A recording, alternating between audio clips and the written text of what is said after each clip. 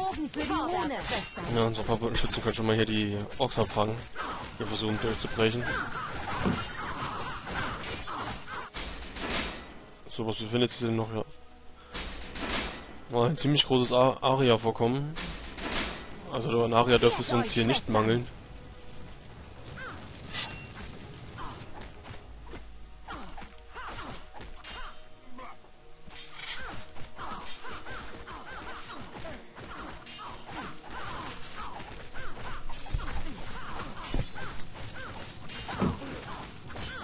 Befehl, vorwärts, Schwester. Ja, wenn er unbedingt mit angreifen wollte, dann kommt doch immer her. Und lauft nicht die ganze Zeit auf der Stelle. Ich höre rasch wie der Wind. Vorwärts. So komm, ich kann das viel schneller. Schnell. So, fertig.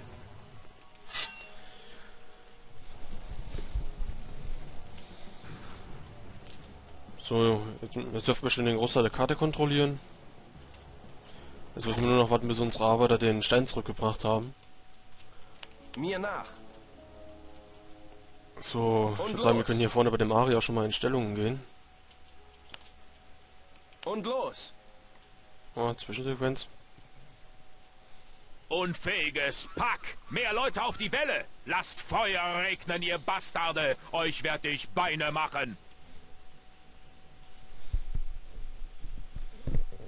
Bei den Schlünden von Bargagor! Dieser verfluchte Zauberer hat nichts von einem Runenkrieger gesagt! Aber damit wird ein Brannigan schon fertig. Immerhin hab ich noch euch, meine kleinen Schätzchen!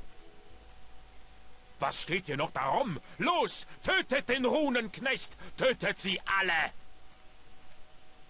Das wird dein letzter Feldzug, Runensklave. Oh je, jetzt haben wir schon unsere erste, Konfron erste Konfrontation mit unseren Erzfeinden, den Eisernen. Und diese Truppen sind wirklich äußerst stark. Da kommen sie nämlich schon angestürmt. Und in dem Fall handelt es sich sogar noch um zwei eiserne Diener, die beide Stufe 15 haben. Und die, das wird jetzt ein ziemlich äh, größerer Kampf gegen die. Gott sei Dank haben wir unsere Windschützinnen dabei, die sie einfrieren können. Weil Eiserne sind nicht nur, dass sie eine ganze Menge aushalten, sie sind auch noch äußerst magieresistent. Man sieht schon, selbst unsere Windschützinnen tun sich hier schwer. Aber Gott sei Dank können wir sie noch kurzzeitig einfrieren. Und hier haben es gerade ja nur mit Zweien zu tun.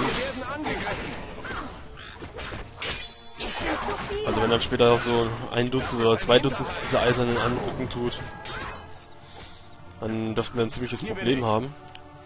So, der Stein ist auch jetzt endlich in unserer Basis angekommen. Wir Gefahr. Erstmal unsere Truppen heilen. So, die Eisernen sind tot. Aber bevor wir jetzt das Lager hier stürmen, weil man sieht es, also hier befindet sich noch etliches an feindlichen Truppen sowie eine große Anzahl an Feuerwehrvertürmen der Orks. Sofort.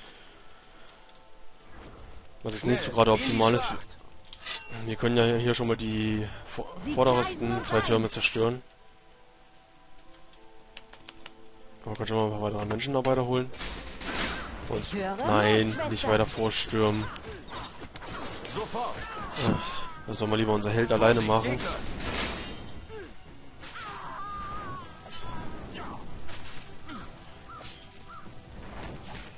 Zu viele. So, da werfen wir mir. mal unsere Beschützen einfach an. Da sind wir nämlich et- etwas magieresistenter. Wir Unsere. Schützinnen können uns die Orks vom Hals halten. Wir sind in Gefahr. So, hier geht es gefälligst wieder zurück. Nicht, dass er mir wieder hier ins offene Feuer läuft. So, wir können schon mal das kleine Haupt aus der Menschen errichten hier. Nein, ihr sollt hinten bleiben. Ach, die aggressive KI in diesem Spiel hier. Mir nach.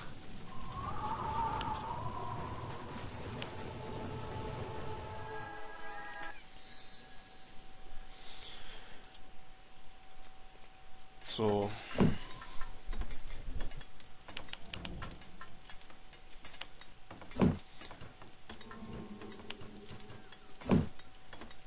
So, jetzt brauchen wir erstmal dringend eine Eisenmine.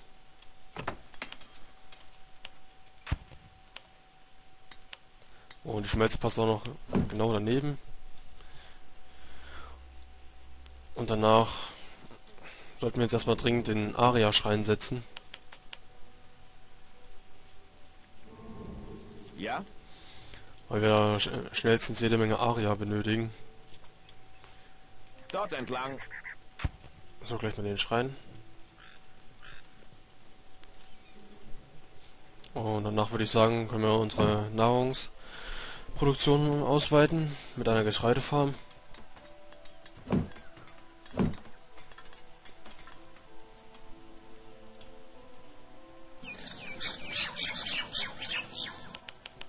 Ja, also Rundenkraft schwindet, weil wir gerade so- ja, so viele Arbeiter beschwören. Aber wir müssen halt unser Lager halt schnellstens ausbauen, bevor uns der, der Feind noch mit seinen äh, überlegenen Streitmacht noch überrollen tut.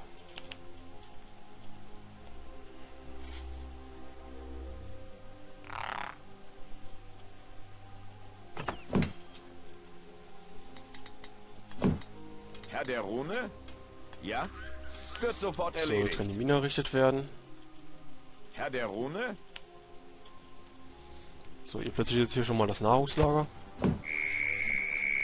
Was wir dann für die Getreidefarmen Hier brauchen. bin ich.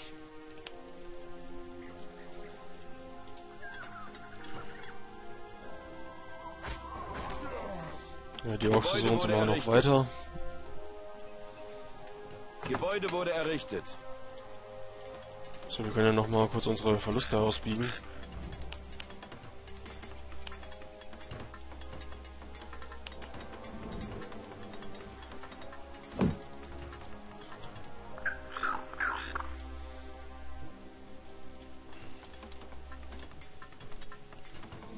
Gebäude wurde errichtet.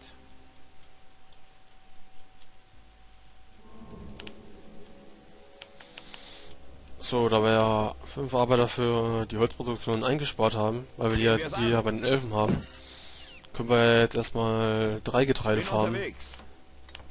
eigentlich drei, zwei setzen, damit, damit wir schneller genügend Nahrung zusammenkriegen, um unser Heer aufzustocken.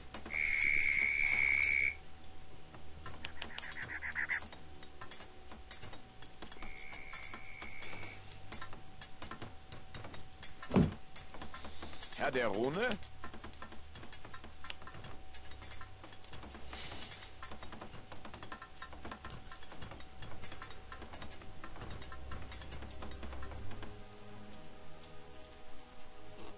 Ja, wie man sieht, hier, hier oben auf dem Berg scheinen sich noch mehr diese Eisernen zu befinden. Und ich meine, schaut euch mal die, wirklich mal die, diese Viecher an. Das ist noch die kleinste Sorte, die eisernen Soldaten. Da gibt es auch später äh, sehr viel größere. Aber das werdet ihr ja dann ja, schon sehen. Schon auf dem Weg. Herr der Rune? Herr der So, jetzt brauchen wir erstmal schnell ein mittleres Haupthaus, damit wir weitere Arbeiter beschwören können.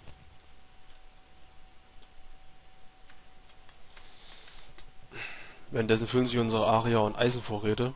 Ja, Gott sei Dank.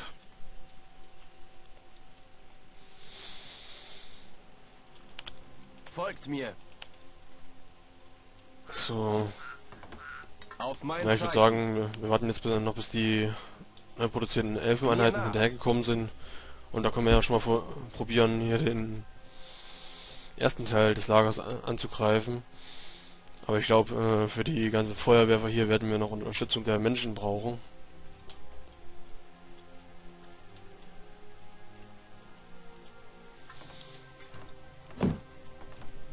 Mal, hoffen, dass unser Getreide schneller äh, reifen tut.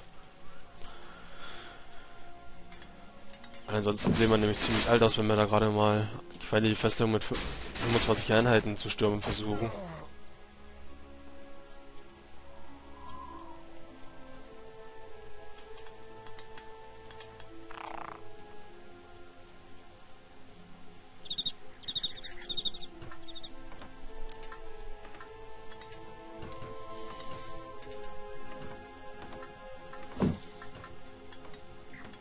Jetzt ziehen wir mal kurz hier die Arbeiter hier aus der Getreidefarm ab, damit das Haupthaus mal schneller gebaut wird. Na komm, helft den mal. Das dauert nämlich zu ewig.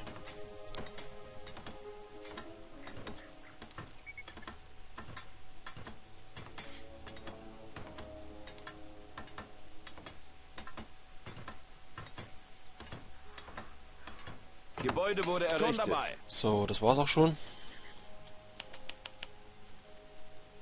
Der Rune? Jetzt können wir schon mal die Rüstkammer bauen. Die brauchen wir ja für unsere Paladine. Und da wir mit den Elfen ja jetzt gerade keine starken Nahkämpfer haben, würde ich sagen, versuchen wir natürlich die Paladine auszubilden. Herr der Rune? Gehen wir es an. Schnell. So, unsere Truppen sind jetzt erstmal wieder versammelt und wir können ja den Angriff auf das Lager jetzt mal wagen. Ja, da kommen nämlich schon die ganzen Ork-Truppen. Währenddessen kü- kümmert sich unser Held erstmal um die feindlichen Feuerwerfer, damit die zer- zerstört werden. Unsere Schützen können das mal ein bisschen aufrücken. Na, vielleicht sollten wir noch mal mit dem Heilzauber nachhelfen. Wir sind in Gefahr.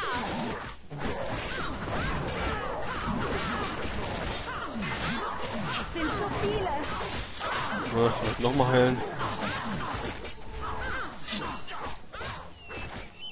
Wir sind in Gefahr. Wird sofort erledigt.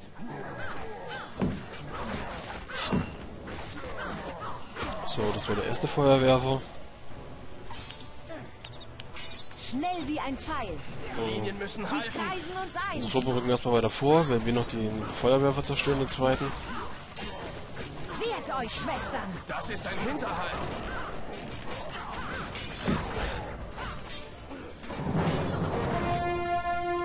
Na, behalte ich mal mit den Rüstkammern. Gebäude wurde errichtet. So, da können wir nämlich schon mal das Upgrade für unsere Neue Paladine Fähigkeit verfügbar. erforschen.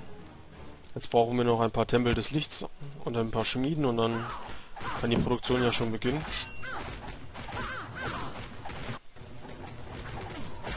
So, gleich mal den Samml Sammlungspunkt mal setzen. Mein Bogen für die Rune. Wir sind in Gefahr. Ich höre. So, können wir ja mal beim Hauptmeister hier helfen.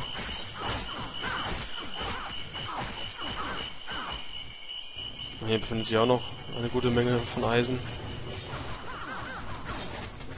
Ja, und hier stehen einige Feuerwerfer natürlich wieder Wache.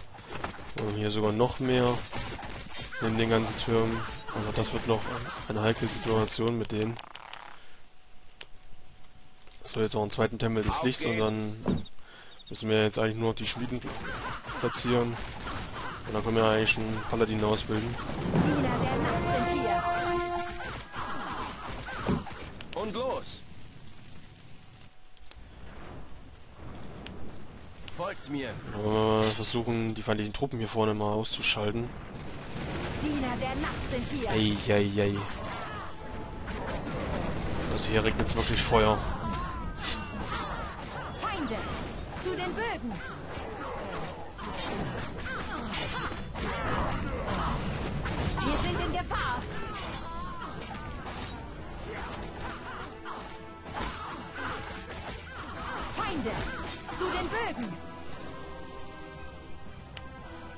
So, jetzt baut, jetzt baut mal schnell noch die Schmieden auf. Ich brauche dringend diese Paladine hier. Damit ich im Nahkampf mal was Schlagkräftiges zur Seite stehen habe. Ärmel hoch und los. Wird sofort erledigt. Brauchen wir gleich ein paar dieser Schmieden, damit die Produktion auch schnell vonstatten geht. Schwestern. Ihr entfernt euch mal von diesen scheiß Feuerwerfertürmen da oben. Bevor hier noch alle Einheiten draufgehen.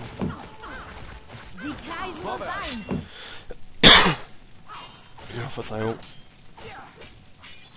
Sofort. So, das dürfte jetzt der erste Teil des Lagers gewesen sein.